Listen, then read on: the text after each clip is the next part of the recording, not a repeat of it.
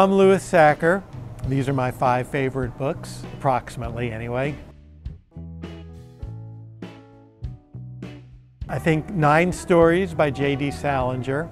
It's a collection of nine short stories that I read when I was in high school and that's what got me love of reading and probably reread those nine stories a dozen times each over the years. I would say Charlotte's Web was my favorite book as a kid and I still love it.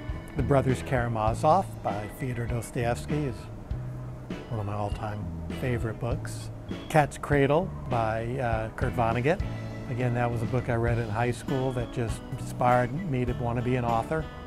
Last book I'll mention is not as well known as any of those, but it's a book that's really stuck with me. I read it about probably about 15 years ago called The Unconsoled by Kazuo Ishiguro. It's just so different than any other book I'd ever read. Part of the fun of it is, is discovering what that difference is, so I won't even say it, but I, I recommend it.